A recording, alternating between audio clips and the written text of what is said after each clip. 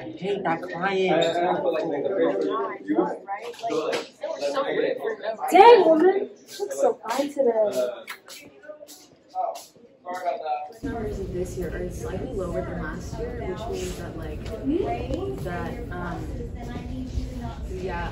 I can't believe that Chad said those things. Like as a woman, I feel really unsafe when he does stuff like that, you know? Like I shouldn't be objectified in the place that I work. I mean, this is a workplace. Like, There's no way that that behavior should be allowed. I have to talk to the boss about this because, like, he's not. This is not the first time he's done that. He's done it several times, and like, I can't believe it. You know, how is he able to keep his job after doing this so many times? And then if I do something small, like I get fired, and it's so unfair. And, like, no one should deserve this kind of treatment. You know? So we just we have to fix this. It's not like Why is she?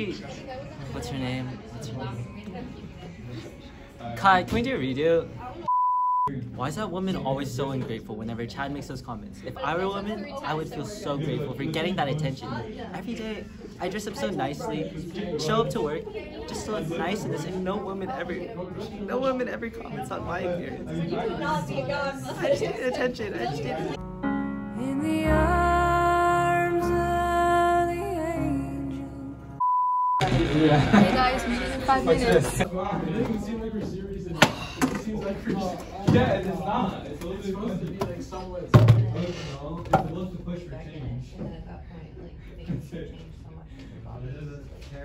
Okay, guys, so I called you guys for this meeting to discuss a very important topic.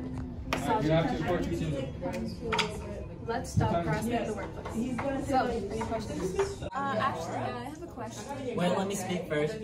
I don't get why I'm not being sexually harassed. Earlier, boss woman wasn't, she didn't give me attention, and why does Chad give you attention? I don't understand this. If we're talking about equality, shouldn't women also um, mistreat men too?